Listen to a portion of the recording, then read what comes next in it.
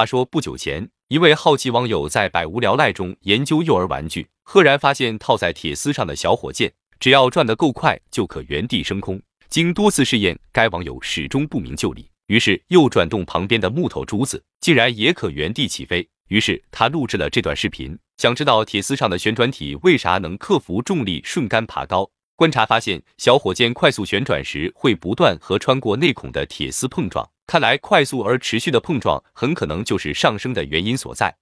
既然如此，咱们也在铁丝上套个小火箭，拨动它，沿着顺时针快速旋转起来。发现中孔和细杆发生碰撞时，孔的内壁因接触细杆而受到反向的滑动摩擦力。如果此时接触点在内孔的下边缘，那么摩擦力就会制造旋转力矩，使物体向左倾斜。这样接触点瞬时受到的摩擦力就指向了右上方，只要摩擦力够强，向上的分力就可支撑小火箭上升。既然真相大白，那么本期节目就进入了尾声。祝各位观众晚安。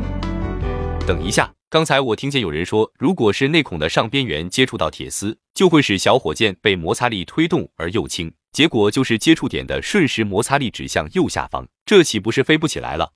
既然今天没糊弄过去，那我再仔细看看视频。发现小火箭碰撞铁丝时，似乎是在反复横跳，这又是怎么回事呢？原来这个快速旋转的小火箭接触细杆时，并不像我们想象的会被边缘的摩擦力推动而倾斜。由于此刻它可看成旋转的陀螺，具有保持轴线稳定的能力，因而能抵抗外力矩的扰动，总是保持着内孔轴线和细杆平行的趋势。由于具有了陀螺稳定性，当内轴孔和细杆发生摩擦时，旋转体不仅自转。还整体绕着接触线旋转而公转起来，使该物体的质心也开始做圆周运动。如此一来，旋转体就被离心作用压紧在细杆上。虽然这样并不能使摩擦力向上偏斜，但却会使旋转体的轴线在频繁冲击中受到偏斜的扰动。于是，瞬间的扰动力矩就使这个陀螺发生进动效应，也就是陀螺为了抵抗外力矩。而朝着力矩同向旋转九十度的方向偏转的动作，正是由于这个特性，当小火箭在旋转中遇到冲击而受到倾斜力矩时，它就会向力矩旋转九十度的方向偏摆进动，以此来产生抵抗冲击扰动的稳定力矩。因此，内孔会出现横跳，